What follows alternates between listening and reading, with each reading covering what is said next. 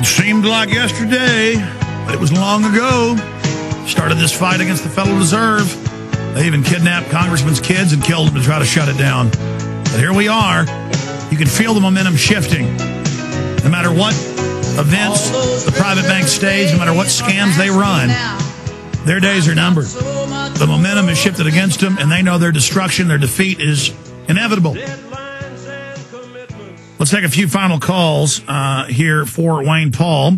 Let's talk to Ronnie in Texas, Steve J, K, Philippe, and others. Ronnie, you're on the air with Wayne Paul. Go ahead. Thank you, thank you, sir, Wayne Paul. Um, I'm, you're number four for me. I'm so honored to speak to you.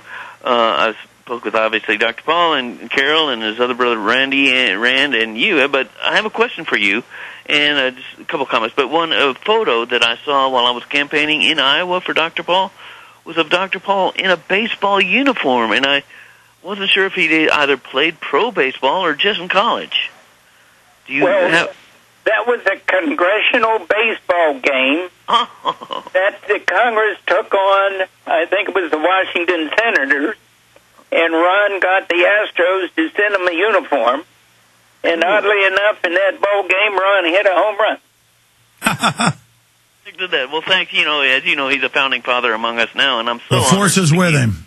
Yeah. And and my question though, the, my major question though is, uh, like you, sir. Uh, I know he is not in favor of, uh, or I'm assuming like you, uh, he's not in favor generally of people doing drugs. But Dr. Paul is more vehemently opposed to our own continually counterproductive war on pot smokers and hemp enthusiasts.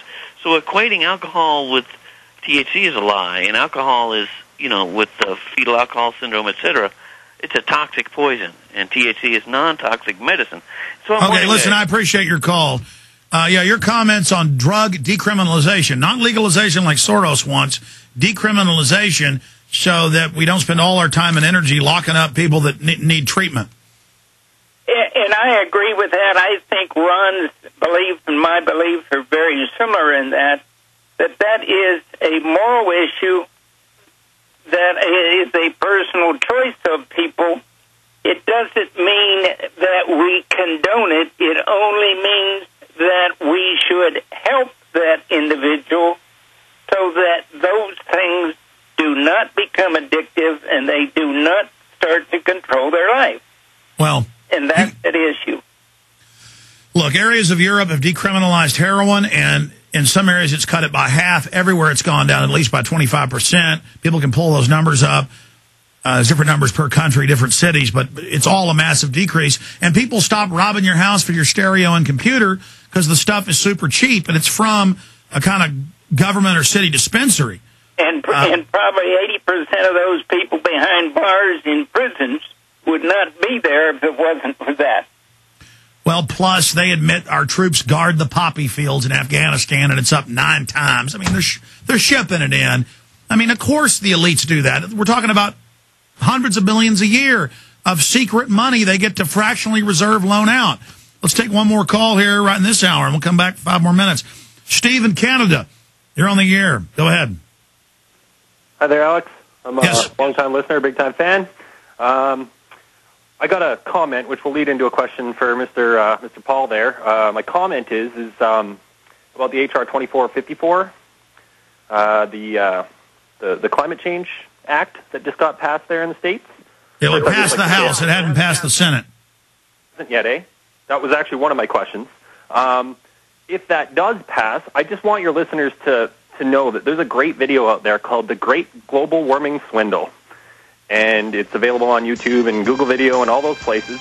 Yeah, it's free. It's incredible. It's got all the climatologists and scientists. Thank you. I'm going to jump. Great points. We're going to come back in 70 seconds with Wayne Paul, Ron Paul's brother and an activist against tyranny uh, as well.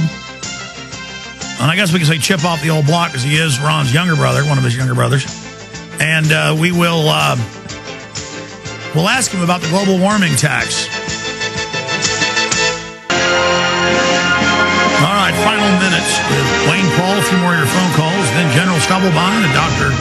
Laibow will be joining us to talk about eugenics. Wayne, uh, global warming tax over every facet of our lives, federal inspections, total federalization, eugenics agenda for the control freaks to run our lives. Your take on the global warming cap and trade and on eugenics.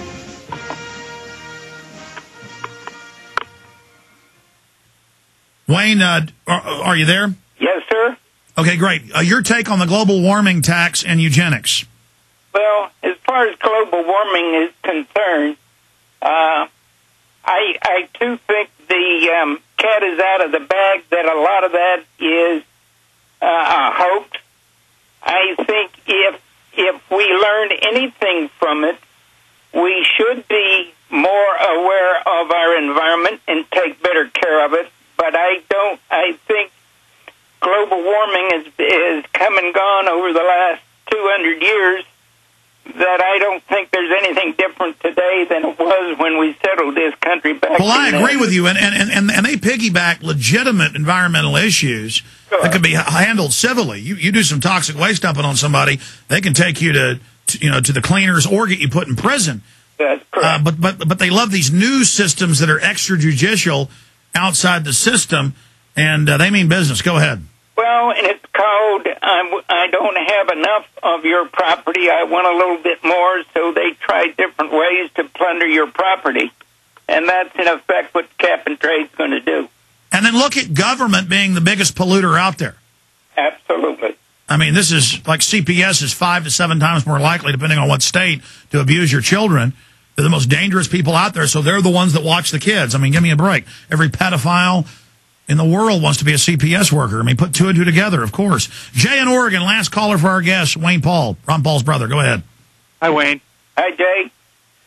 Uh, actually, I got two parts of a question, two questions for Go you. Go ahead. And and question one, um, how do you reconcile uh, the cognitive dissonance of working to quell what you guys are calling the rise of the one world government, the one world economy, um, the one world currency, when it's clear in the Word of God that this is going to happen.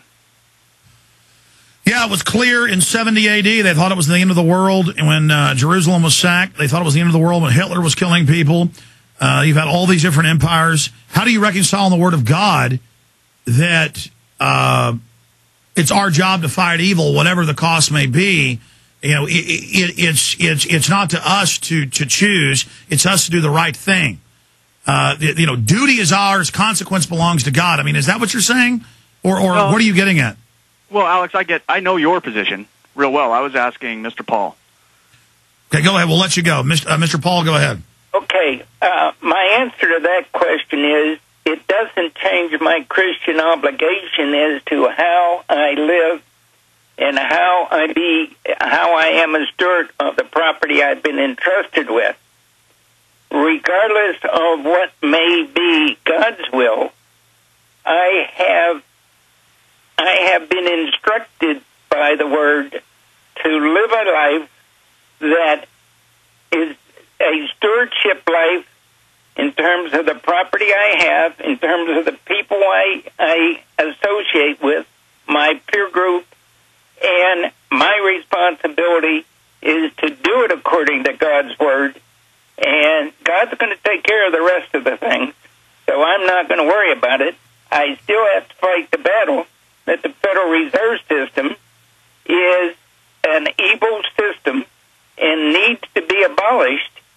It doesn't change. Yeah, it was fact. the pastors that led the Revolutionary War against uh, England, and a few of the pastors did say it's God's will. Lay down Romans 13 out of context. Look right. at the prophets. Look at the whole Bible. It's about standing up against evil and fighting evil.